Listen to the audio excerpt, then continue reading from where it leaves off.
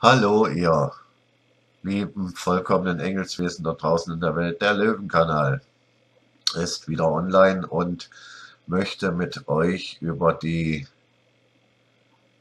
über das innere Selbst, über die Energien sprechen, um ich habe euch hier ein wunderbares Bild mitgebracht mit den 2, 4, 6, 7, genau 7 sind's. Spaß. Die sieben Chakren, also Wurzelchakra unten, das Kronenchakra oben. Und es ist eben halt wichtig, ja, oder überhaupt erstmal wichtig, ähm, sich selbst zu finden, ne, in sich selbst. Den Satz hören wir jetzt öfters oder haben wir schon öfters gehört oder ihr, dann sollte ja da auch was dran sein, dann sollte man sich damit auch mal auseinandersetzen und beschäftigen. Der Energiefluss in einem selbst. Ne? Um die Energien in sich fließen zu lassen, hängt ja auch mit Seele, Karma zusammen. Und um das ähm, jetzt gar nicht hier so schwierig zu gestalten, einfach über und durch, Entschuldigung, mentales Training eben halt das innere Selbst wieder zu entdecken, die Chakren im Einzelnen zu öffnen.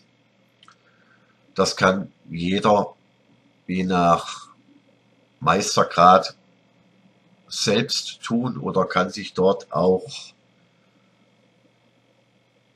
Beistand holen, weil ich möchte hier nicht von Hilfe sprechen, das hört sich immer an wie Person in Not um Beistand durch und über die hohe geistige Welt, in dem man im Bewusstsein ist oder schon im höheren Bewusstsein, dann hat sich das, glaube ich, auch an der Stelle hier schon oder da weiß man Wesen schon ähm, erledigt.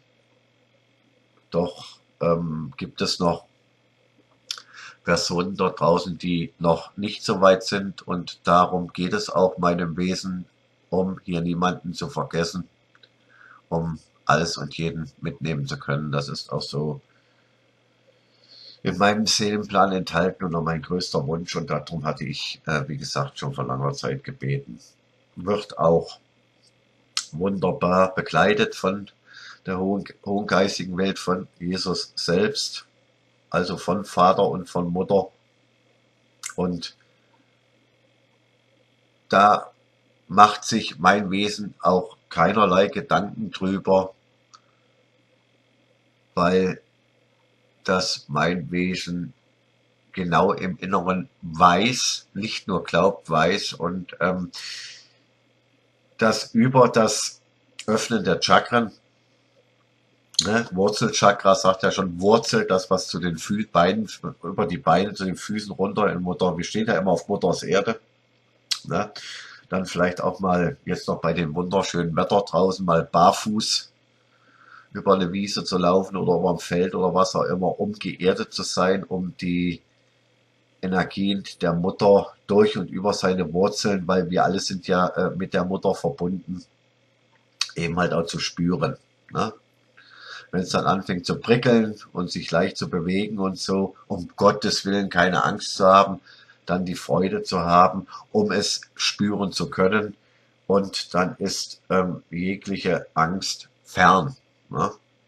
Weil das stoppt ja den Fluss, die Blockade, die größte Blockade in einem selbst ist ja sich selbst zu blockieren über noch die teilweise alte Angst und Kontrolle und so kann ja logischerweise ähm, oder vom gesunden Menschenverstand her nichts fließen. Das geht dann weiter äh, äh, über die Geschlechtsorgane oder das Geschlechtsorgan über den Bauch, Brust, Hals, ja, alles was Gesichtsgegend ist, bis zum Hirn oben selber, also das Kronenchakra.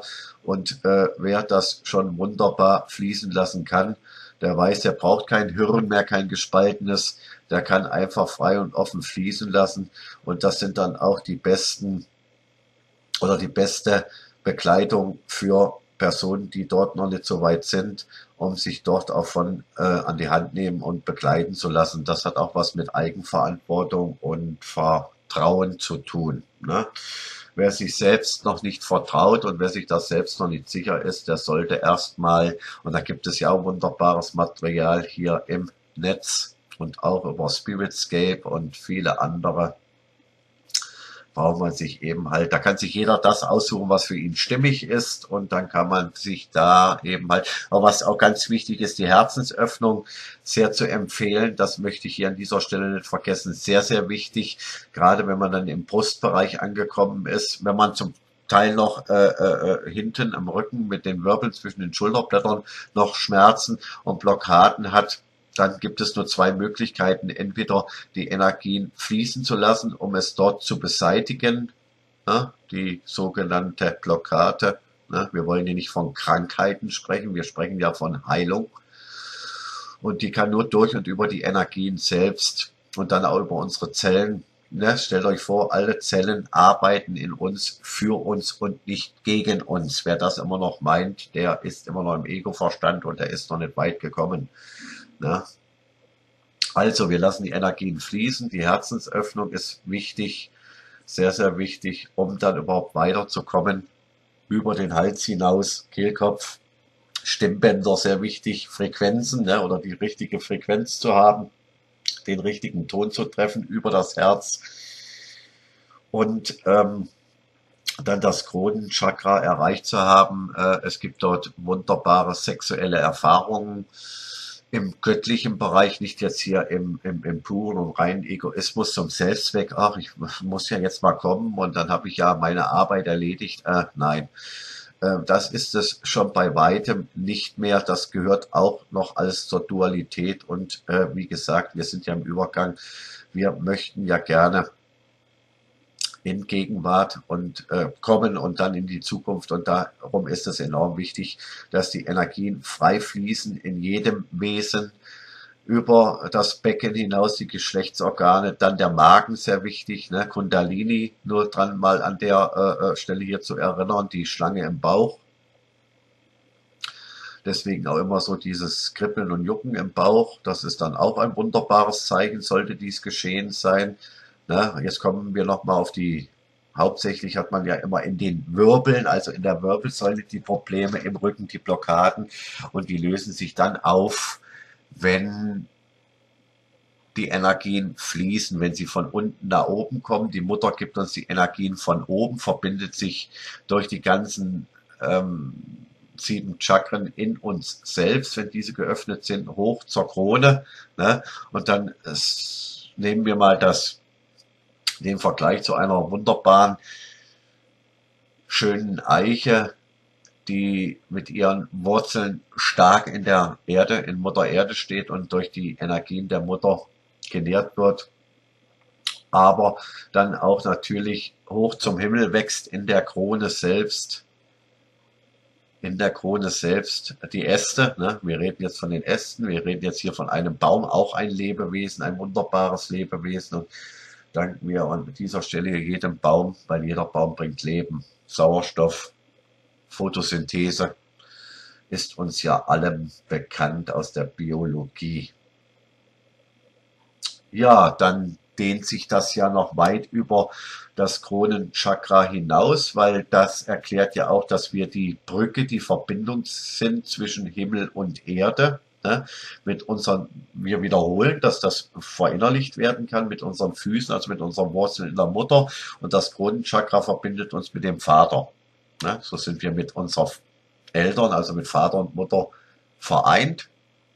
Und wenn diese Vereinigung steht, in uns über die Chakren, was ja nur letztendlich Namen für Energiepunkte in uns sind und diese miteinander weise zu verbinden, den Fluss fließen zu lassen und dann ist aller Weg frei. Und dann erkennen wir immer mehr in und über uns und können auch immer souveräner und kraftvoller den Weg weiter beschreiten, um in uns selbst angekommen zu sein, um jetzt nochmal so das ein oder andere Beispiel zu nennen. Die Energien, vor allen Dingen das Herz und der Weg vom Herzen zum Gehirn ist ja nicht weit. Jetzt beginnen wir aber unten in unserem Wurzelchakra. Ist dieses aktiviert, geht es ja weiter zum nächsten, zum nächsten und wieder zum nächsten. Und alles miteinander verbunden. Das, das sagt man ja auch im Fluss zu sein, im Fluss zu fließen. Also die Energie fließt in und durch uns und ist mit allem und jedem Leben in Verbindung. Und dann ist es, wie gesagt, wichtig, das Sexuelle ist ein wichtiger Bestandteil von dem Ganzen. Das Männliche wie auch das Weibliche in uns selbst ist ja dann auch aktiviert. Dieses auch, dass dieses bewusst ist in uns, dass wir beides in uns tragen, das Feminine wie auch das, äh, wie heißt das, Musko? Ach du Vater, das ist ja das Feminine kenne ich. Ähm, das Gegenstück äh, werde ich mir dann nochmal äh, wachrufen. Entschuldigt sich mein Wesen an dieser Stelle hier. Ne? Ähm, maskuline, ne? eine feminine, maskuline, glaube ich, so heißt das. Genau. Dankeschön an mein höheres Selbst. Und das in Einklang zu bringen in uns. Ne? Weil ist doch ganz klar, wenn wir mit Vater und Mutter verbunden sind, ist beides in uns, weil die Energie fließt ja durch uns durch. Von beiden. Ne? Und dann haben wir ja an dieser Stelle wieder diesen wunderbaren und großen Aha-Effekt. Das Sexuelle nochmal drauf ähm, zurückzukommen oder überhaupt das mal anzusprechen, man kann das Hirn nicht im Hirn heilen. Das war nie möglich und wird so auch nie möglich sein. Das wird auch nicht äh, über das Außen möglich sein, durch und über irgendwelche Chemie, also Pillen, die man sich da einwirft und meint jetzt, das Ganze von außen regulieren zu können, ist absoluter Bullshit.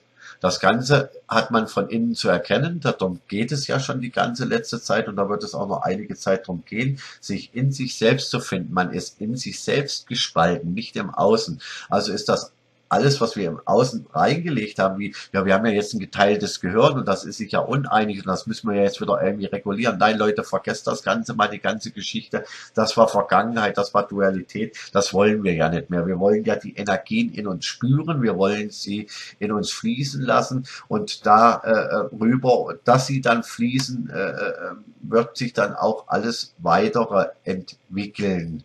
Ne?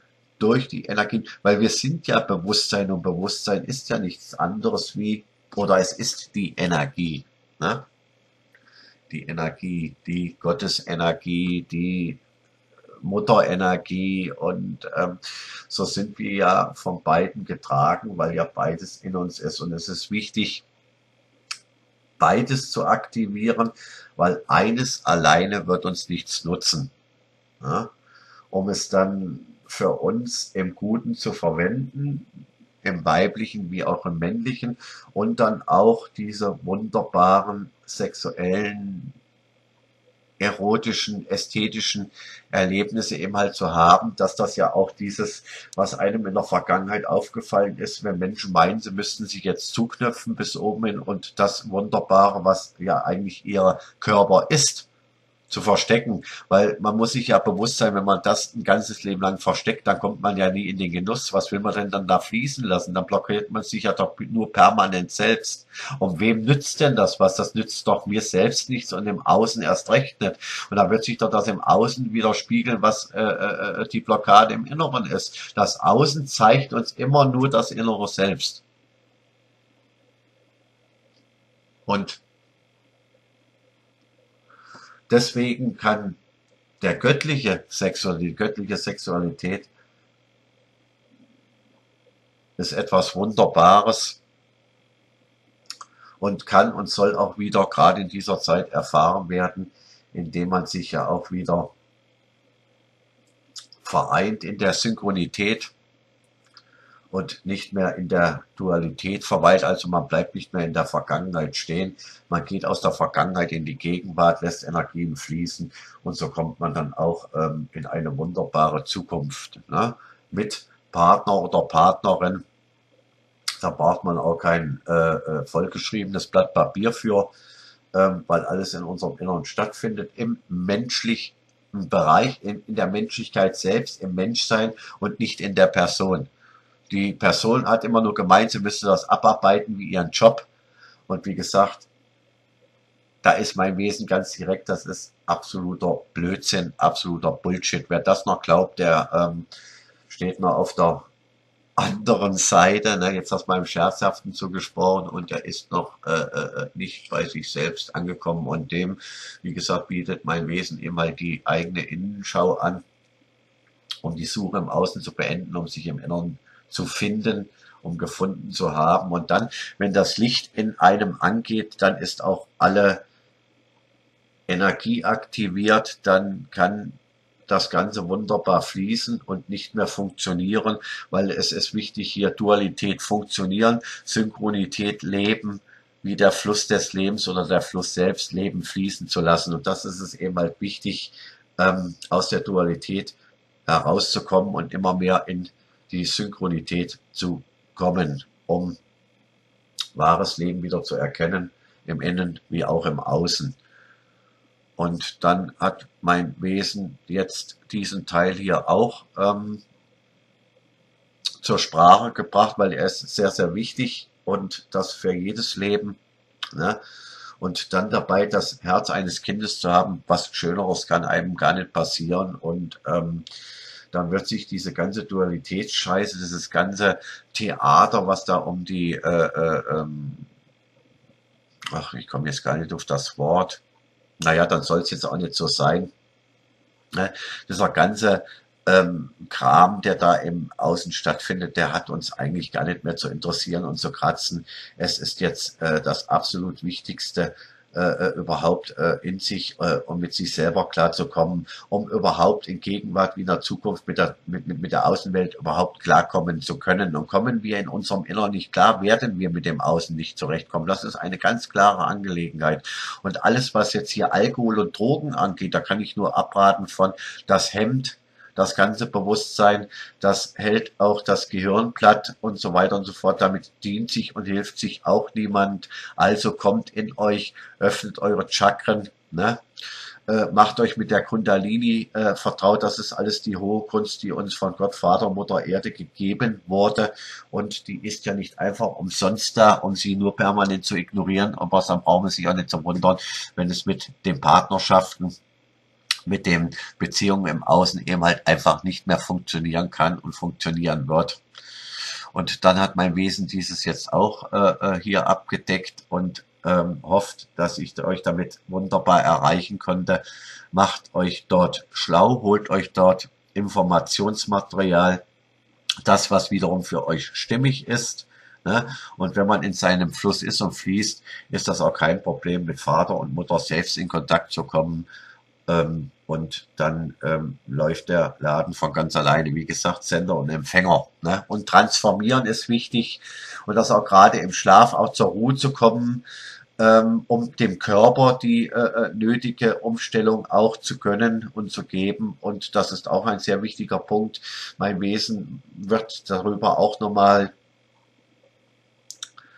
ein Video, also Video hört sich immer erbärmlich an, ein, äh, eine Botschaft ähm,